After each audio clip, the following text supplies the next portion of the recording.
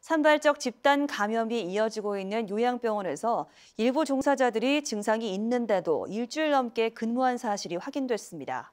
방역당국은 해당 병원에 대해 손해배상 청구 등 법적인 대응을 검토하고 있는데요. 실제 가능한 걸까요? 남효주 기자가 취재했습니다. 200여 명의 집단 감염이 무더기로 발생한 제2미주병원과 대실요양병원. 첫 확진자는 대실요양병원에서 지난 18일 발생했습니다. 그런데 무려 보름 전인 지난 2일 이 병원의 종사자가 증상이 나타났지만 병원 내 감염이 드러날 때까지 계속 근무해온 것으로 확인됐습니다. 무려 보름 넘게 근무를 한 것으로 방역 당국조차 공개적으로 답답함을 표시할 정도입니다.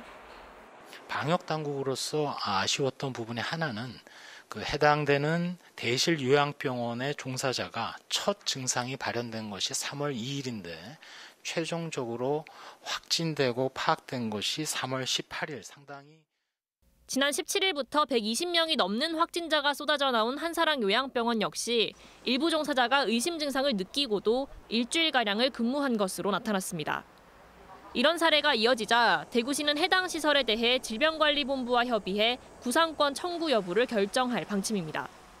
질병관리본부에서 어, 중앙재난대책본부에서 판단할 사항이라고 생각되고 어, 중앙재난대책본부의 판단이 있으면 저희들 함께 고려해서 대처해 나가도록 하겠습니다.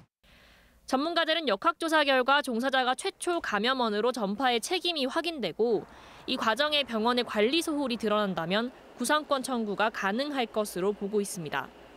다시 말해 종사자들의 증상 여부를 해당 병원이 제대로 관리했는지가 쟁점이 될 것으로 내다봤습니다.